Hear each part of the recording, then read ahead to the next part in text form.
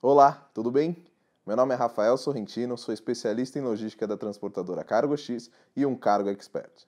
Hoje vamos falar sobre as melhores práticas para o transporte de cargas lotação.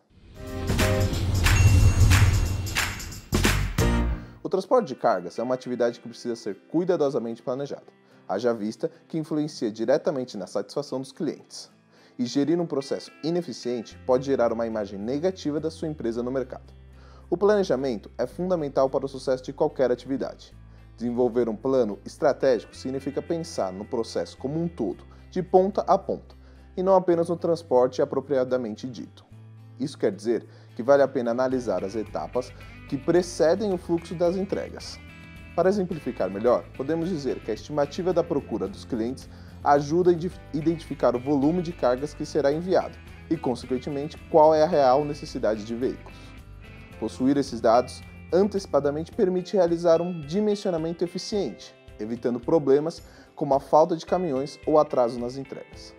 Esse equilíbrio é essencial para obter maior eficiência no transporte. Por um lado, se o veículo for carregado apenas com as cargas mais pesadas, é bem provável que a cubagem total não seja atendida, fazendo com que ele circule com muitos espaços vazios. Por outro, itens que ocupam muito espaço mas são leves, fazem com que o baú seja preenchido rapidamente, enquanto o peso máximo fica longe de ser alcançado.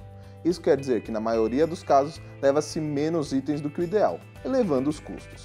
Sendo assim, o ideal é mesclar produtos espaçosos e leves com os mais pesados, permitindo com que itens sejam enviados e se alcance maior eficiência operacional, principalmente no que diz respeito aos gastos com o envio. Outro ponto que deve ser observado é o peso ideal das cargas, para o tipo de veículo que será utilizado.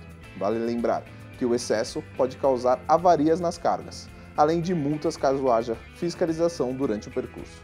Portanto, o momento de consolidar os pedidos também deve ser planejado, considerando o tamanho e a capacidade do veículo, que será destinado a esse tipo de transporte.